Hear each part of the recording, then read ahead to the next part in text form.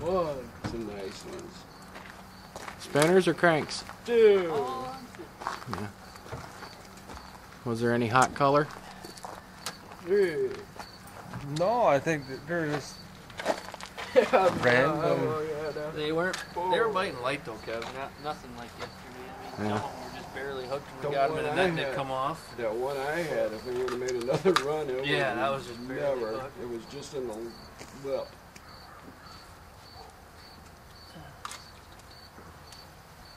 Goby were biting black. He's a goby killer. I couldn't get rid of some of them. 'cause I Oh, thought man, those I tell ya. crawlers. There's places you can't even jig with a jig and a crawler. I mean, you just you can't do it. I don't know what I was doing to attract them all, but You can literally They drop your jig me. down and, and see your pole vibrate because Yeah. there's that many hitting it all at once. yeah, They'll it just vibrate in your I caught one. Oh yeah, I caught one. He had the whole nightcrawler, the whole rear of the nightcrawler, all the way swallowed all the way up to the hook. they're pretty, aren't they? Mm-hmm. Ooh, ooh.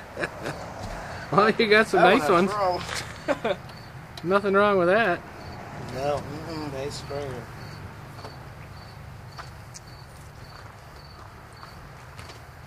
Yeah.